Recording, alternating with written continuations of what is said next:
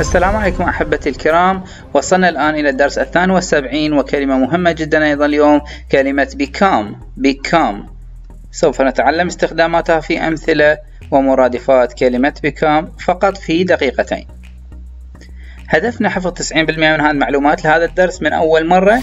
20 آه، كلمة جديدة تقريبا. لهذا السبب إذا نريد نحصل على هذا الهدف يجب أن نركز جيدا من الآن حتى نحفظ أكبر كمية من المعلومات. Get ready اجهز write all the phrases اكتب جميع العبارات so you need a notebook and a pencil تحتاج إلى كراس وقلم حتى تدون جميع المعلومات. just two minutes and repeat after me five times loudly كرر خلف العبارات بصوت مرتفع حتى تتقنها بشكل جيد. أما الآن اضغط على إعجاب لهذا الفيديو اشترك في القناة فعل زر الجرس حتى تحصل على جميع الدروس. المجانية الجديدة مباشرة حين نشرها. أما دروس سابقة تجدها أسفل هذا الفيديو في مربع الوصف. كلمة become أو فعل become تأتي بمعنى أصبح يصبح.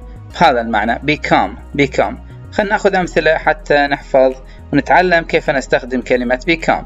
المثال الأول she wanted she wanted to become a doctor. She wanted to become a doctor. أرادت أن تصبح طبيبة. She wanted هي أرادت to become a doctor.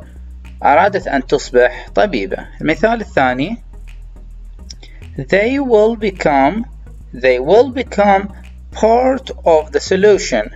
سوف يصبحون جزءا من الحل. Part part جزءا of the solution solution الحل جزء من الحل. They will become part of the solution. هيا لنقرأها معا. They will become part of the solution. أحسنت. كررها الآن خمس مرات بصوت مرتفع حتى تتقنها بشكل جيد. واكتبها أيضا. أما أهم مرادفات كلمة become هي turn out turn out تحول be be أصبح كما مر علينا في الدرس السابق. كلمة be شرحناها بالتفصيل وأخذنا أمثلة عليها. أحدى مرادفاتها كلمة become. And befit befit لائمة هذه أهم المرادفات لكلمة become.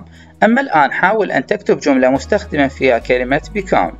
become. استخدمها في جملة right now. اكتبها أسفل هذا الفيديو.